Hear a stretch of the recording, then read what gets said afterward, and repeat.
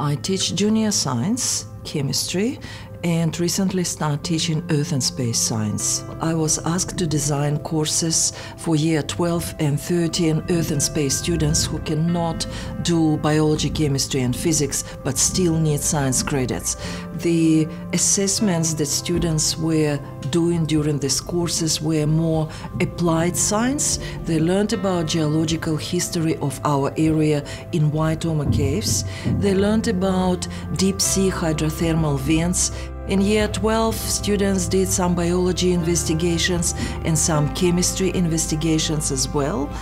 For year 13, it was an absolutely fascinating assessment on LanzaTech. This is the frontier of science, where students were able to learn about innovation in science with the scientists in Auckland lab and pilot plant.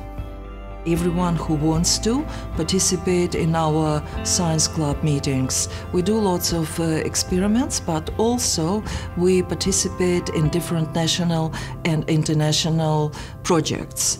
Uh, my students participated in the International Year of Crystallography. Uh, we came six out of 140 schools. They were very proud on themselves we completed several projects with Kiwi Space Foundation, growing azuki beans and uh, looking how they grow here on Earth and to compare them with the seeds that were grown on the International Space Station.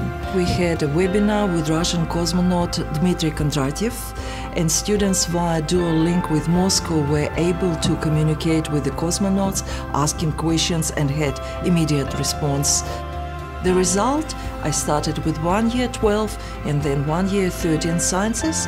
Now we have three year 12 and two year 13 earth and space science classes. I realized that students are natural investigators, natural scientists, and if from early childhood we can help them to develop the skills, that will be great for them, and who knows, maybe lots of them become scientists in the future.